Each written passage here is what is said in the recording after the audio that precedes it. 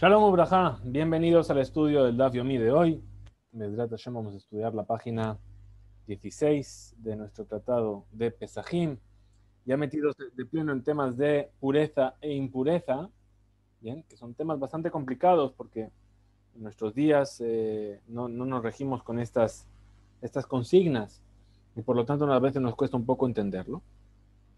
Pero forma parte de nuestro estudio una parte muy importante de todo lo que es el estudio del jazz.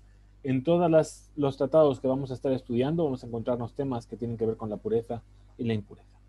las bases las sentamos ayer, hablando de los diferentes niveles de impureza, y ayer nos quedamos en una discusión sobre el tema eh, que está hablando si los líquidos eh, se impurifican y si los líquidos transmiten impureza.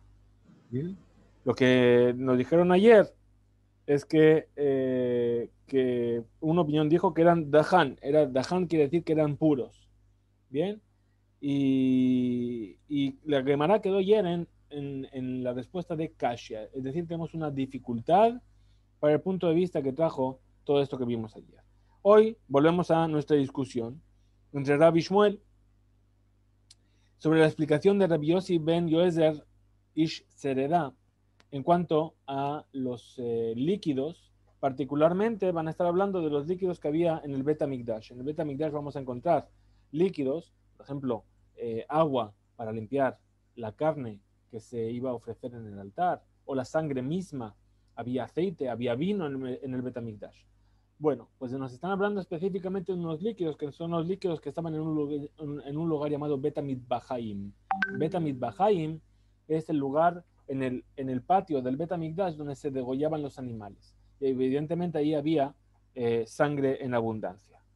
Entonces nos dice, Gufa, justamente, Amar, eh, Rab Amar, dijo Rab, Dahan Mamash, Ushmuel Amar, Dahan Miletame Tumatajerim, Abal Tumat Atzman Yeshlahen. Y aquí tenemos nuevamente esta discusión entre Rab y Shmuel. Es decir, que los líquidos son Dahan, son realmente puros y no se pueden ni purificar ni pueden transmitir impureza. Y Shmuel dice que son puros únicamente en cuanto a que no pueden transmitir la impureza a otro, a otro elemento, pero ellos mismos sí pueden percibir y recibir la impureza. Y nos explica la Gemara esta discusión. Dice, Rab Amar Dahan Mamash, Rab dijo que son puros en todos los sentidos, Kasabar Tumat Mashkin Miderabanan. Porque ¿qué es lo que piensa? Que la impureza que los líquidos reciben sobre ellos mismos, es decir, ellos mismos se impurifican, es únicamente un decreto rabínico. Mexicazur Rabanán, Mashkin de alma, y cuando vinieron a decretar los sabios la impureza sobre los líquidos, lo hicieron únicamente sobre los, líquidos generales, pero Mashkin, Bet eh, perdón, Bet lo, lo gazur ahí sobre esos líquidos que iban a estar en el Betamigdash, no vinieron a decretar, porque los sabios vienen a decretar una impureza, pero no la van a decretar dentro del Betamigdash. Ushmuel Amar, Ishmuel, ¿qué es lo que opina él? Dahan miletametu matajerim, es decir, que son puros en cuanto a que pueden, a que, no transmiten la impureza a otro, a, otro elemento. A Baltumatasman Yeshlahem, pero una impureza propia sí que pueden adquirir. ¿Y por qué lo dice así? Kasabar, Tumat Mashkinatzman de Oraita. La impureza que el, líquido se puede impurificar, puede él mismo quedar impuro, es por un decreto rabínico, eh, perdón, de la Torah. Le tamea Jerimi de Rabanan, pero para impurificar a otro elemento es únicamente por ley de los sabios. ¿Sí? Vejigazur Rabanan, Bemashkin Be Alma, aquello que decretaron los sabios es únicamente para todo tipo de líquidos. Pero los líquidos que iban a estar en el Bet Amigdash, Mashkin Bet Midbahaya, Logazur, ahí no decretaron Vejigazur Rabanán, le tamuye a Jerim, le tumat a Jerim, le tamuye a Jerim, abal tumat y es la entonces lo que nos dice finalmente, ¿sí? Eh, que, que, lo que decretaron únicamente que iba a ser, que iban a poder, eh, lo que decretaron los sabios, ¿qué fue? Sobre el hecho de impurificar a otros, pero la, impureza propia sí que llegan a tener. Perdón, me olvido de compartir la, página y yo aquí hablando como si todo estuviese bien. Muy bien, ahí tenemos nuestro, nuestro DAP de hoy. Muy bien. Eh, Muy bien, estamos aquí. Amarle Rabuna Barjanina Lebere. Le dijo Rabuna Barjanina a su hijo, Kiailet le came de Rafpapa, rámele. Cuando tú vayas a ver a, a, a pregúntale lo siguiente. Mia Marshmuel, Dahan, Miletametu Matajerim, Abaltumatasman Yeshrahem. Dice, ¿acaso? Dijo Shmuel que los líquidos ¿sí? Eh, son puros en cuanto a, a que no transmiten impureza a otro elemento, pero que ellos sí pueden recibir impureza por sí mismos. ¿Sí? ¿Acaso? Entonces, si es así, vamos a encontrar que hay carne de los sacrificios que va a estar en contacto con algún líquido de los sacrificios y se van a impurificar. Kerikan, Kerikan, entonces tenemos un versículo, ¿sí? Eh, ¿sí? Behol lo Es decir, que toda carne que vaya a entrar en contacto con algo que está impuro no podrá ser comida. Quiere decir que incluso que no se impurificó a causa de que, que incluso aquello que, se, que no se impurifica por causa de un líquido, pero de todas formas toca en la impureza, ¿sí? Eh, queda prohibido para ser comido. Responde la cámara y dice, Amar Rav Shisha Bere de Rav Idi. Dijo Rav Shisha, el hijo de Rav Idi, incluso los líquidos ellos mismos se pueden impurificar y no invalidan la carne de los, de los sacrificios cuando llegan a tocar en ella. De Abba, de Abba a Revi'i Bekodesh. ¿Por qué? Porque ese líquido llega a ser el Revi'i en el, en, en, Kodesh, es decir, carne o algún elemento que tiene santidad del Betamikdash, este, este líquido llegaría al cuarto grado. ¿Sí? ¿Por qué? Porque hemos visto que en lo que es Kodesh se puede llegar hasta el cuarto nivel de impureza. Y él mismo se impurifica, pero no puede impurificar a otro porque es pasul. Matkifle Rabashi le preguntó a Rabashi, revive Kodesh, lo ikre. Es decir, ¿acaso nosotros, eh, esto no se parece, ¿por qué? Porque el, cuarto nivel del Kodesh, ¿sí? No está en un versículo explícito. Lonikrat tamé, no se llama tamé, sino que se llama pasul, ¿sí? No pasul, basar kodashim, por lo tanto no puede invalidar la carne de los sacrificios. Abalhai, pero estos líquidos que se impurificaron, ¿acaso no se llama, no, la Torah no los llama tamé? Es decir, dice el versículo, Mejor que li, ¿sí? Asher Ishate, en el cual vas a beber, Yitma, se va a impurificar. Está utilizando la palabra tamé. Debería, si fuese que es Revi de Kodesh, debería haber dicho pasul, yifsal. Entonces, la carne de los Kodashim que llega a, tocar tiene que eh, prohibirse que se vaya a comer. ¿Por qué? Porque estaría, habría tocado algo que es impuro. Entonces nos responde, concluye aquí la Gemara también y dice, Kasha, efectivamente, también para este punto de vista que trajo Rab, tenemos una dificultad. Muy bien, pregunta la Gemara sobre lo que acabo de decir Rab. Tashma, ven y escucha esta enseñanza. Todo líquido que vas a beber en cualquier utensilio se va a impurificar. ¿Qué quiere decir? Está, hablando de un kelijeres. Eh, de un utensilio de arcilla que recibió la impureza de un reptil.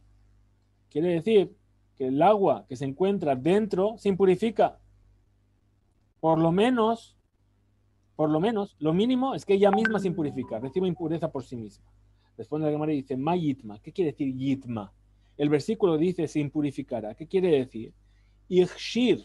No quiere decir que ella recibe la impureza y se vuelve impura, sino que hace que, se que pueda transmitir la impureza. Leachshir la tuma, es decir, una, un elemento para no, no recibe impureza porque sí, sino que tiene que ser apto a recibir la impureza. Bien, como la mayoría de los elementos son, se hacen aptos para, de los alimentos, por ejemplo, se hacen aptos para recibir la impureza a través de algún líquido. Por eso, cuando nosotros vamos a tomar en Pesaj el carpaz, el apio que vamos a untar en el agua con sal o en el vinagre, ¿sí?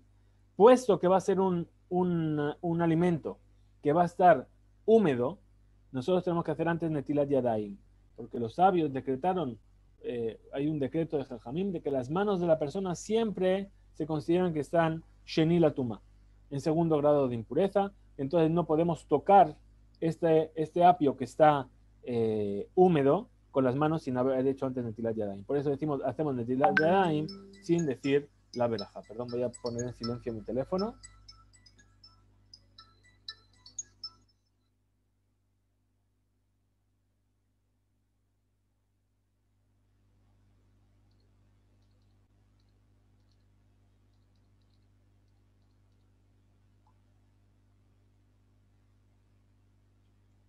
Bien. Eh,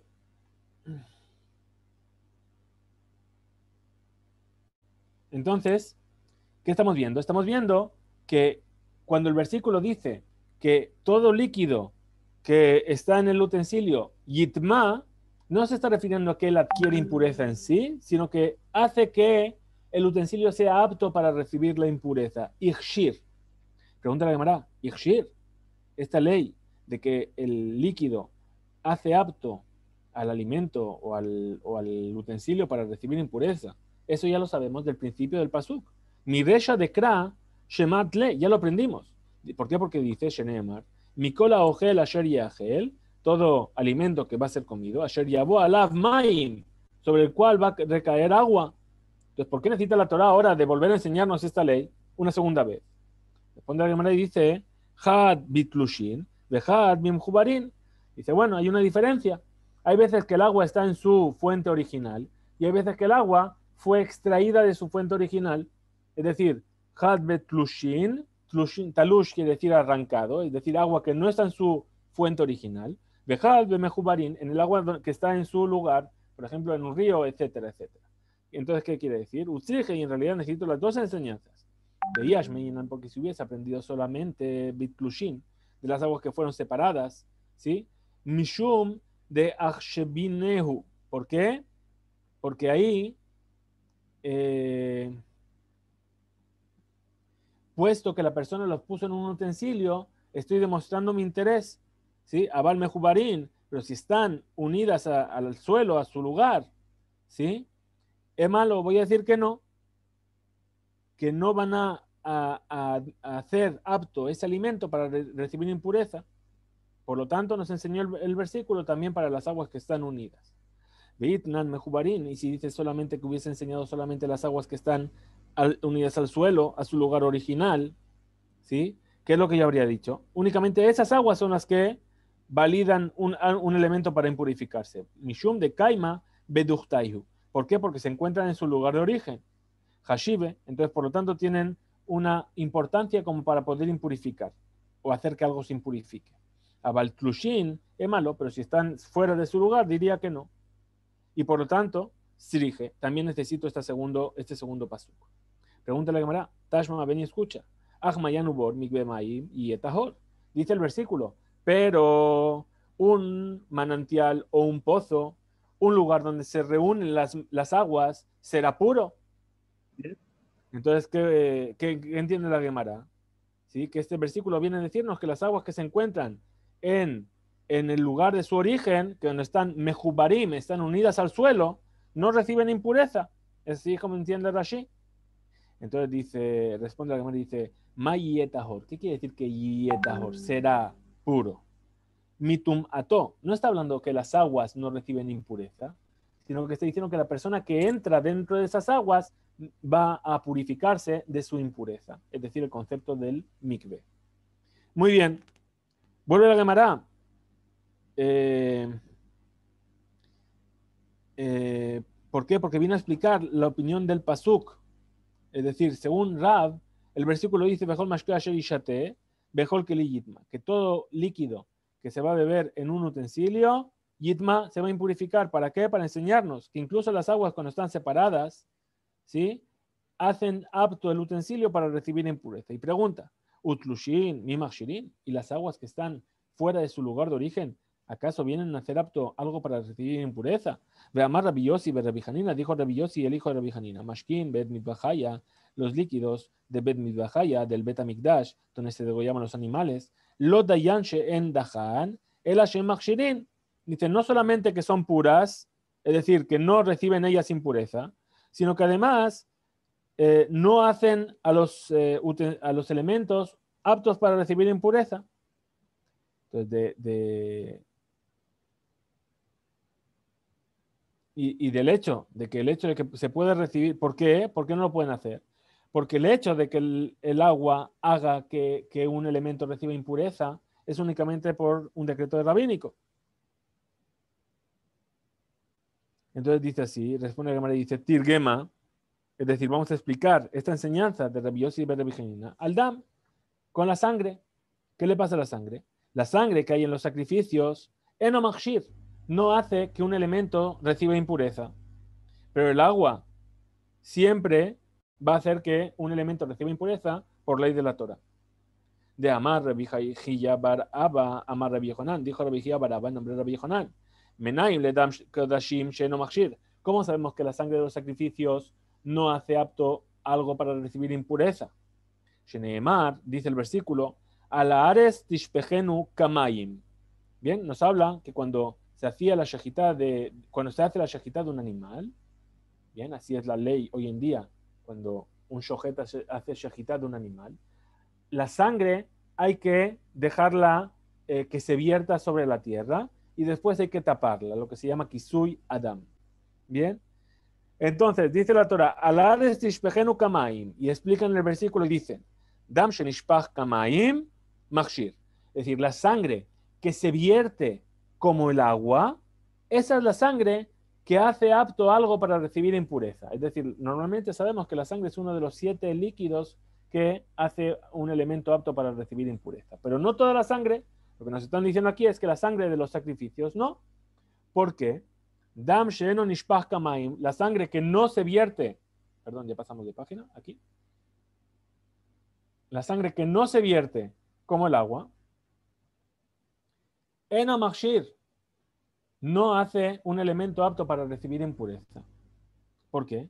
Porque la sangre del sacrificio, bien, no se vertía sobre el suelo.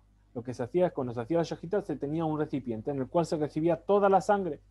¿Bien? ¿Por qué? Porque después esa sangre iba a ser vertida sobre el altar o salpicada sobre las paredes del altar. Matkivle Rab Shmuel Bar Ami, entonces vino a preguntar, ¿sí? Rab eh, Shmuel Bar Ami, Dam Hatamzit. Ah, y entonces, ¿qué pasa con el Dam Hatamzit? Bueno, en realidad, toda la sangre es recibida efectivamente en un recipiente, pero hay una parte del animal que no se recibe dentro de ese recipiente. ¿Por qué? Porque llega un momento en el que ya el animal muere, ¿sí? Y aún así, el animal cuando ha muerto, sigue cayendo sangre y se, y se vierte sobre el suelo. Dice, de Nishpach Kamaim, este, este Dam sí que se vierte sobre el suelo es decir, repetimos, el dam es la sangre que sale del animal una vez que el animal ya murió. Bien. Entonces, ven machir, y aún así esa sangre que se vertió realmente como agua no eh, hace apto que algo reciba impureza. Amarle, Rabzera, le dijo Rabzera a Rashmuel Barami, Ine le dam, le dam tamchit, de afilo bejulim name lo machir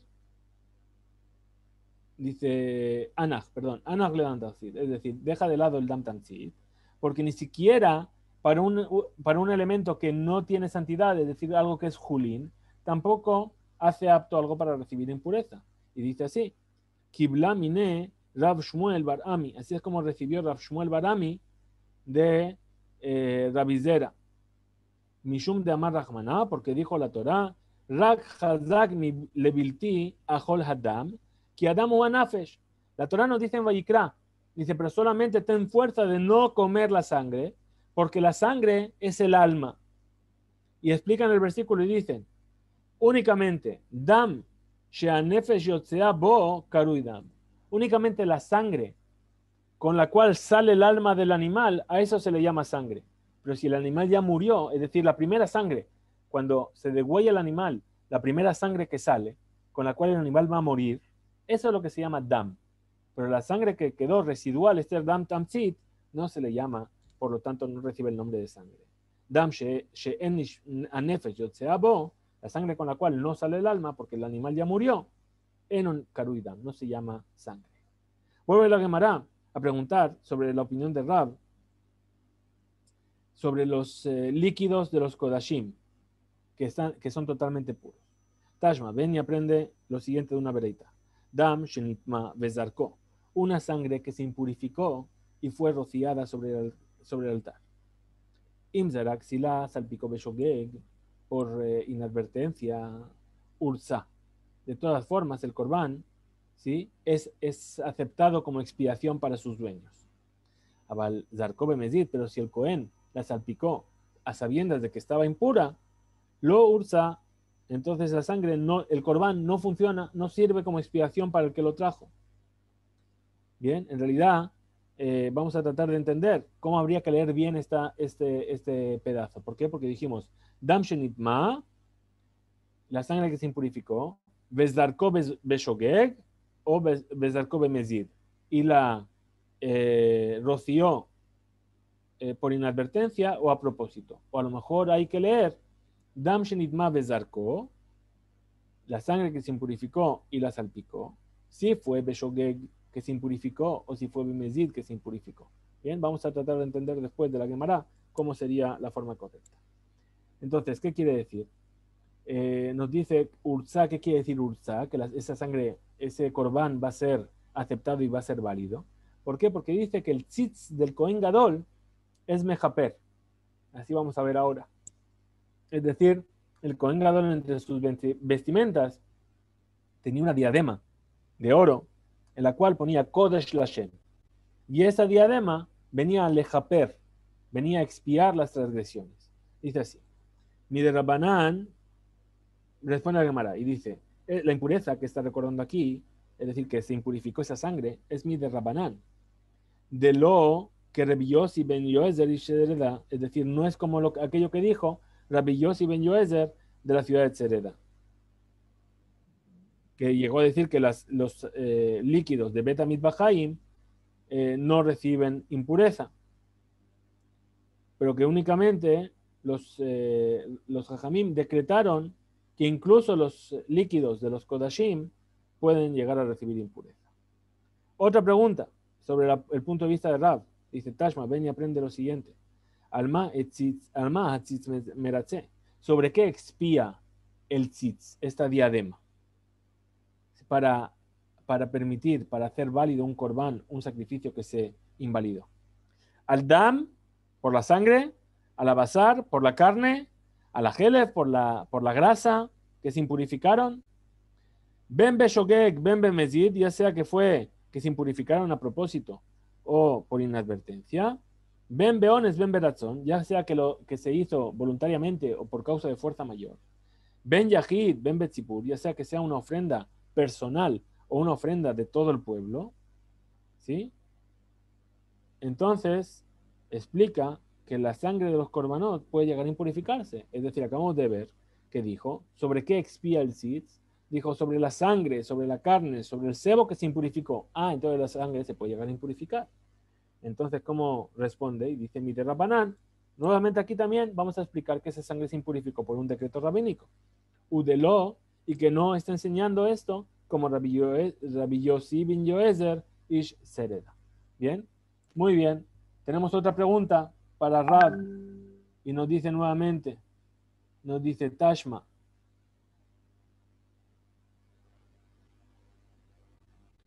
Estamos aquí. Tashma, ven y aprende lo siguiente. Benazá Aaron etabona kodashim. Es decir, cuando nos está hablando del tzitz, de la diadema, la Torah nos dice, y Aarón portará o cargará con la transgresión de, las, de los kodashim, de los sacrificios. Es decir, que a través del, del de esta diadema, se va a permitir aquello inválido o aquella eh, aquel pesul, aquella cosa que ocurrió con el sacrificio que lo hizo inválido. Y explica la Gemara y dice, es de Abón no sé, ¿qué transgresión va a, cargar? Como que va a reparar. Y Mavon Pigul, si estamos hablando de que es el Pigul, dijimos que era el Pigul, que cuando en el motivo, en el, momento en el que se hizo el corbán, la ofrenda, la intención del congador era una intención errónea. Es decir, que por ejemplo, que en el momento en el que estaba eh, ocupándose de este sacrificio, él pensaba, el Cohen, comer este sacrificio fuera del lugar donde lo puede comer. ¿sí? los diferentes tipos de sacrificios que se llevaban al Betamigdash, cada uno tenía un lugar específico en el cual se podía comer. Algunos solamente se podían comer dentro del Betamigdash, otros dentro de Jerusalén y otros se podían comer en cualquier lugar. Es decir, por ejemplo, si se traía una ofrenda que solamente se podía comer en Jerusalén y el Cohen mientras lo estaba eh, ofrendando estaba con la intención de comérselo fuera de las murallas de Jerusalén, ese sacrificio se llama pigul. ¿Bien? O a lo mejor, eh, perdón, si es respecto al pigul, que Bar Neemar ya fue dicho en la Torah, lo yeratze. Es decir, que un corbán que es pigul, no hay forma de validarlo. No tiene takana. Veima bon notar, y si estamos hablando de la transgresión del notar, es decir, que ese sacrificio que solamente se podía comer durante, por ejemplo, un día y una noche y quedó al día siguiente, ¿sí? Y entonces, en el momento en el que el Cohen está haciendo la boda, está haciendo el servicio divino con ese sacrificio, él pone su intención, él está pensando de comérselo fuera de su tiempo. Haré que ya fue dicho, lo Hashem no será considerado, es decir, tampoco tiene arreglo, el tzitz tampoco espía por él.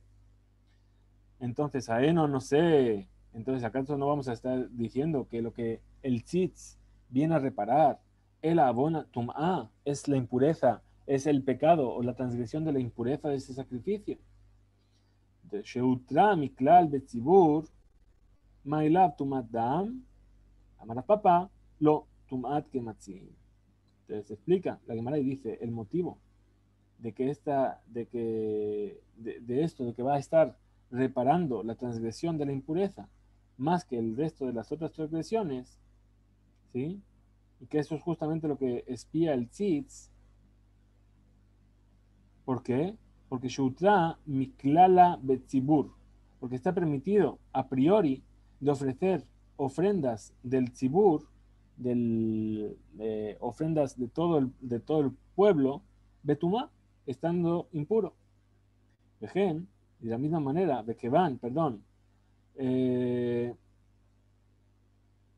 que, la Torah permitió en cuanto a la impureza sobre este tema, también eh, permitió en el, sacrificio personal. ¿Sí? Y en este caso es el tzitz el que va a eh, reparar estas circunstancias. Entonces explica la, la Gemara y dice, no, no necesariamente tiene que ser la impureza de la sangre. Raspapa dijo dijo Tum Ad Lo que viene a expiar el tzitz es eh, la impureza de los kematzim. que es el kematz? El, el comets, perdón. El comets es un puñado de harina que se separaba, por ejemplo, en la ofrenda de la minja. Bien, entonces dice, no, lo que vino a, permitir es este comets, que si, llega a estar impuro.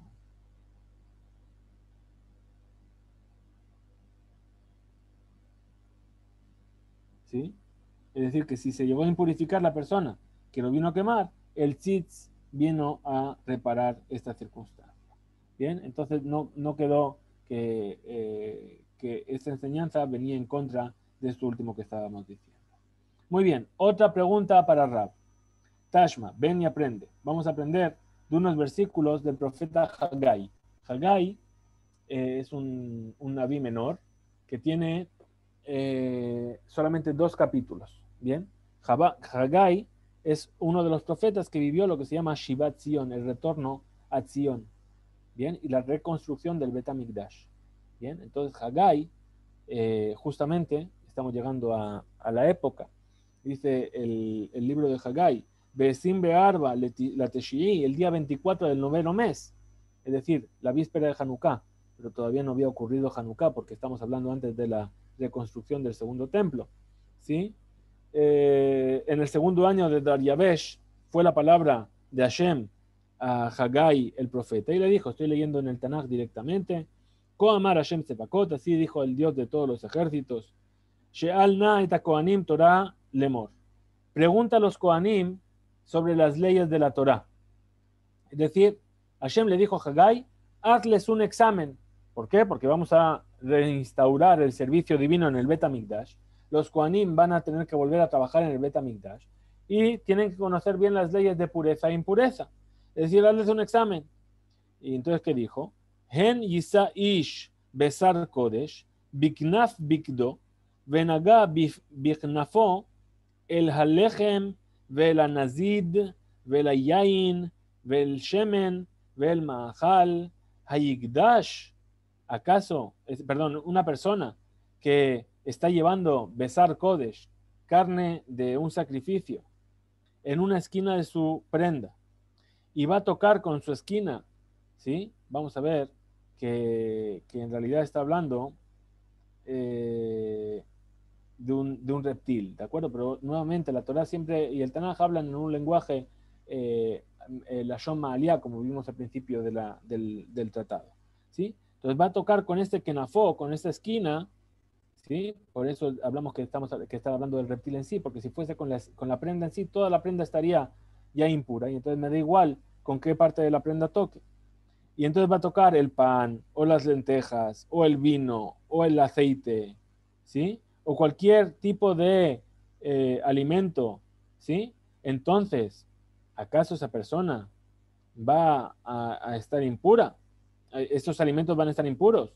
Y le respondieron los Koanim, lo, le dijeron no. ¿Sí? Vayomer Hagai, dijo Hagai, im nefesh, bejol ele, hayitma. Ahora, si un temen nefesh, una persona que estuvo en contacto con un muerto, toca alguno de estos elementos, ¿acaso se van a impurificar? Vayano a Koanim, Vayomeru Yidma. Los Koanim le dijeron, sí se va a impurificar. Vayan, Hagai. Entonces, ¿cuál es la respuesta? ¿Pasaron el examen o no pasaron el examen? Vayan, Hagai, Vayomer. Dijo Hagai, Ken Hamaze, Vejen Hagoyaze, Lefanai, Neum Hashem. Vejen Kol Maase Yedehem, Asher Yikrebu, Shem Temehu. Es decir, así es este pueblo y así es esta nación delante de Hashem, dice Dios, y todos los actos de sus manos que ellos van a ofrecer, ¿sí? Es, va a ser impuro. Es decir, señores, habéis fallado el examen, está muy mal. ¿Por qué? Porque la pregunta de Haggai justamente es sobre el cuarto nivel de impureza que dijimos que sí que aplicaba a los Kodashim. Bien, y ellos, los Kohanim le dijeron no, y cuando le vino a preguntar entonces si es con el contacto de un Temenefesh, ¿sí? y ahí le dijeron sí, no, también, en el otro caso también era la respuesta sí. Entonces dice así, Tashma, ven y escucha. ¿Qué dijo Hagai?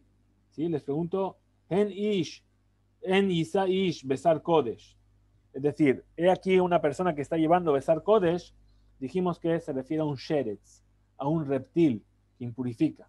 Bignaf begado, benagá bekenafo el aleje. Es decir, con la parte del, vestido en el cual se encuentra este reptil, ¿sí? es decir, con el reptil mismo, llega a tocar el pan o las lentejas y el pan toca las lentejas, perdón. Velayain, y las lentejas tocan el vino. ¿Sí? El vino que se, que se vertía sobre el altar. Y el vino está en contacto con el aceite, que también se vertía en el altar. De el colma o toca cualquier, el vino, toca cualquier tipo de alimento. ¿Acaso el último se va a impurificar? Y se va a hacer cuarto nivel de impureza. Y le dijeron los Kohanim, le dijeron, lo, le dijeron, no, no se va a impurificar.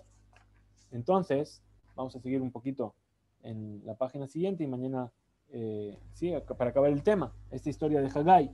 De Amar Rab, dijo Rab, sobre este versículo, Ishtabash Kahane. Los Kohanim se equivocaron cuando dijeron que el aceite, que es cuarto de Kodesh, ¿sí? cuarto nivel de impureza, era puro de calle, tenemos una dificultad.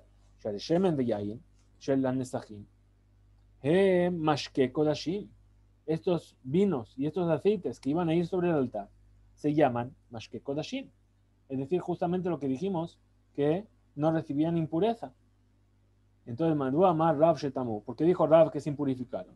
Haré Mashke Kodashim, agente Horim Legam, le los, los líquidos de, de los sacrificios eran puros, según eran totalmente puros según su punto de vista. Responde Gemara y dice, Mirihu ama el alerrab. Dice, ¿acaso toda la, pregunta no es únicamente según el punto de vista de Rab, que dijo que los líquidos de Bet Bajaya del Bet son teorim totalmente. Umeidach, Amar, Shekoanim Tau, y por eso dijo que los Koanim se equivocaron. Ato, en Caché. Según su punto de vista, no hay dificultad, porque Mishum, Sherab, Mashke Bet Tane. Es decir, Rab enseñó que esos líquidos que no reciben impureza ni se impurifican ni pueden transmitir la impureza son los líquidos de Bet Mitbahaya. ¿Qué es Bet Mitbahaya? Dijimos, el lugar donde se degollaban los animales en el Bet Amigdash. Aval, pero, más que Be Madbehaya, metame. Pero los líquidos que van sobre el Madbeja, Madbeja es el altar. Los líquidos que van sobre el altar sí se pueden llegar a impurificar por una impureza de Rabanán, y por lo tanto les dijo Rab que se equivocaron. ¿Por qué? Porque ellos tenían que haber dicho que el aceite también se podía llegar a impurificar, a pesar de que estaba en el cuarto nivel de impureza, y por eso estamos viendo, no hay problema para Rab, porque Rab está hablando que los que no reciben impureza son los líquidos de Bet Matbehaya, del lugar donde se degollaban los animales, pero los líquidos de, de de Matbehaya, perdón, esos sí que se pueden llegar a impurificar porque van sobre el altar. Hasta aquí llegamos en nuestro estudio de hoy. Muchas gracias por estar ahí. Hisku, Veimzu, Bedrat Hashem, nos veremos mañana para continuar con la página 17.